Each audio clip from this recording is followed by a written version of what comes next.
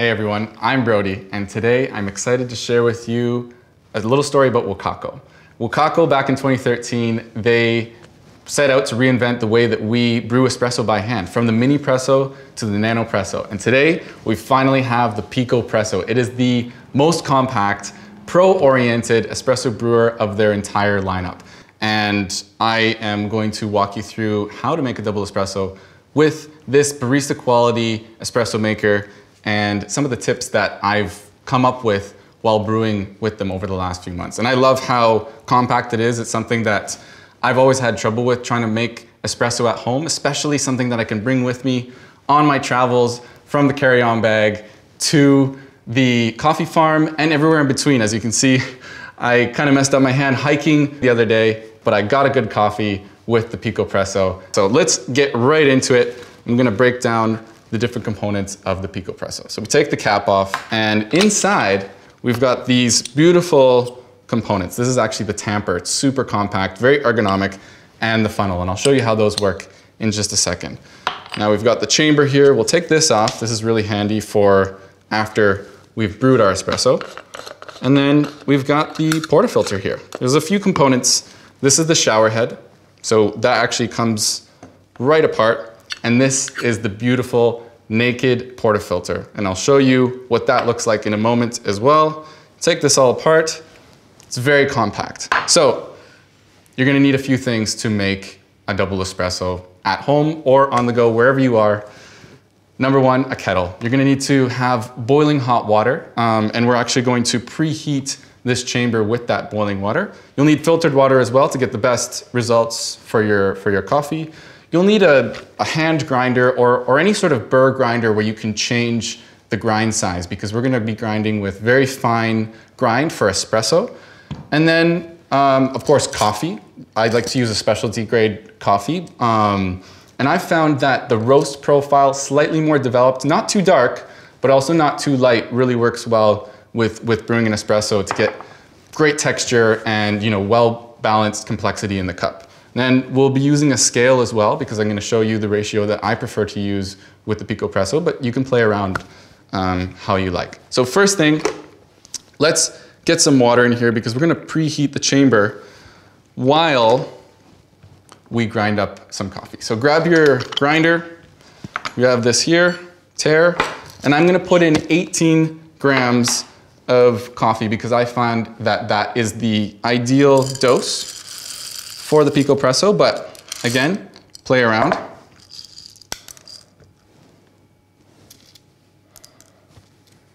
So we've got 18 grams, this is ready to go.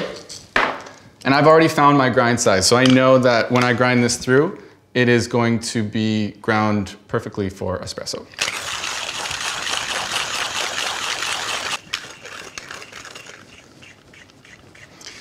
So that is ready to go. Put that aside for now because what I want to do is actually preheat the cup. I'm going to put this cap on because sometimes water can go everywhere. And so I'm preheating the chamber and the cup at the same time. Just give it a few pumps through here. I think that should be enough because we want this thing as hot as we can get it.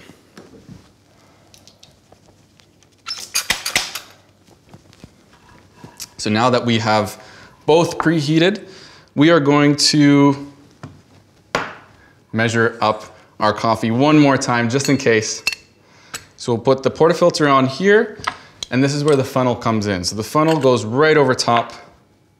We're gonna tare that up. And since I measured 18 grams, it should come out to be 18 grams again.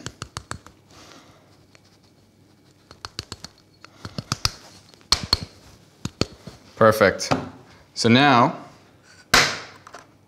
we've got that in there and what I like to use is this small little tool. This is a distributor sort of mixes up any clumping that we have from this espresso grind to make sure we don't get any channeling and everything is even in here. So that is all mixed up and we're gonna use this ergonomic tamper here which is very easy to get an even tamp every single time. You don't have to worry about how much pressure you're putting because the funnel stops it basically. So we've got our portafilter. This is the shower head, which we're gonna put right on top. And then we screw that in right below. Should be pretty hot. Let's put our cup on here. Tare it again. And we've got boiling hot water essentially. And we'll fill it up to this small notch here. But as I mentioned, I am using 18 grams of coffee in the portafilter and a good ratio that I found, you know, simple one to two, you can play around, but I'm gonna use a one to two ratio, so that means I need 36 milliliters in the cup. So start the timer here. And then I've also found that eight pumps for the pre-infusion works really well. What's nice about this brewer is you can do a quick pre-infusion and then wait. I like to wait about 10 seconds for it to start to drip through and you can actually see with the naked filter. That's what's nice about the, the portafilters. You can see when the drips are starting to come through and you know when to continue your brew.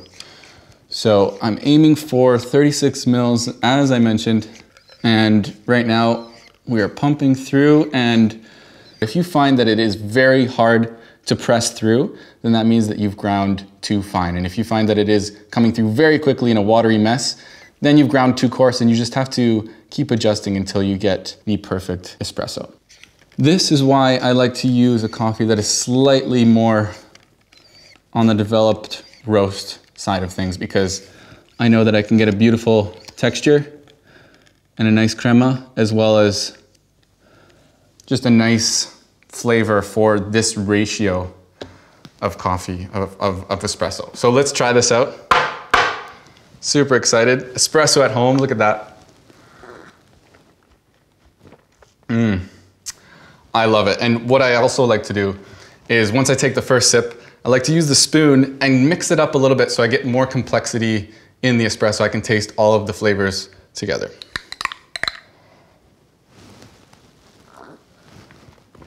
And actually changes quite a bit.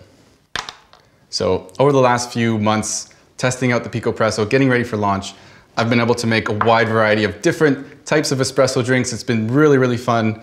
And I also wanted to let you know that Wacaco is soon gonna be launching a whole new lineup of their own accessories from their own grinder, a pressure gauge that actually goes inside this thing, as well as a scale. So you're gonna be brewing like a barista at home in no time.